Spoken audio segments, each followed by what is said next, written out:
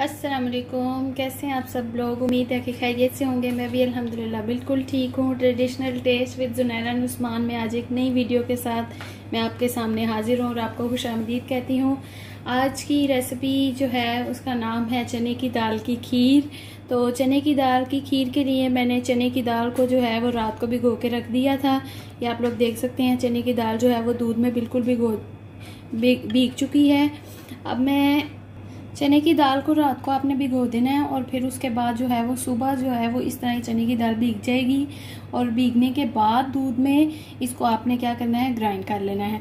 Grind करने के बाद जो है वो इसे हम जो है वो चूल्हे पे कुक करेंगे। बिस्मिल्लाहिर्रहमानिर्रहीम। दाल जो है वो मैंने ग्राइंड बिल्कुल कर ली है। आप देख सकते हैं तो चूल्हा जो है वो मैंने ऑन कर लिया है। अब इस दाल में से जो थोड़ा सा दूध है वो मैंने निकाल लिया। जिस दूध में बस ये ग्राइंड हो सकती थी, उतनी जो है वो, उतना दूध इसमें बस डाल देना है। तो अब हम इसे क्या करेंगे? अब जो है इसमें से जो थोड़ा सा दूध रह गया है, वो भी इसे अच्छे तरीके से ड्राई करेंगे और फिर घी डाल के फ्राई करेंगे। जी तो नाजरीन, इसमें से जो मिल्क है वो बिल्कुल ड्राई हो चुका है। अब मैं इसमें देसी घी ऐड करूँगी और इसको फ्राई करूँगी। इसको फ्राई करते वक्त आपने मुसलसल इसको हिलाते रहना है और क्या कहते हैं, फिर इसमें मिल्क ऐड कर टू टेबल स्पून इसमें मैंने देसी घी जो है वो ऐड कर दिया है। ऐड करने के बाद अब इसे मैं लाइट लाइट सा जो है वो मिक्स करती जाऊँगी। जब तक इसका कलर चेंज ना हो जाए, तब तक हमने इसको इसी तरह मिक्स करते रहना है।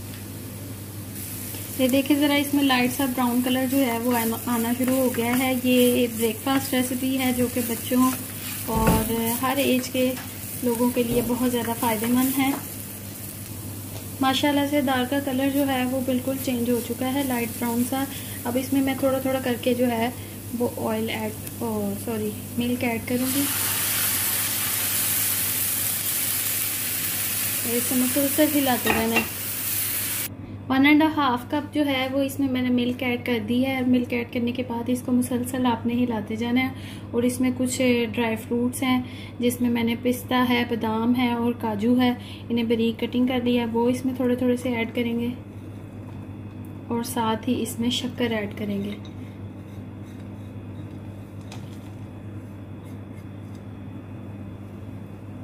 मीठा जो है वो आपने हसबे जायका इसमें ऐड कर देना है। और ऐड करने के बाद इसको आपने मुसलसल जो है वो हिलाते रहना है।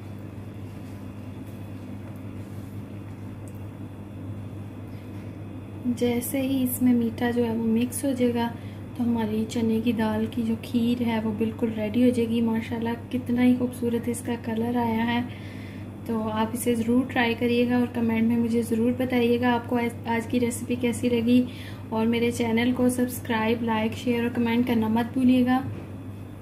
जी तो नाजरीन, ये देखें जो है वो थिक हो चुका है। अब इसे हम प्लेट में सर्व करेंगे और ड्राई फ्रूट से इसकी जो है वो गार्निशिंग करेंगे। जी तो नाजरीन, मज़ेदार और गर्मा गर्म चने की दाल की खीर जो है वो बिल्कुल रेडी हो चुकी है। अगर आपको मेरी ये रेसिपी पसंद आई है तो कमेंट में ज़रूर बताइएगा। और तब तक नेक्स्ट रेसिपी तक ओके अल्लाह हाफिज़।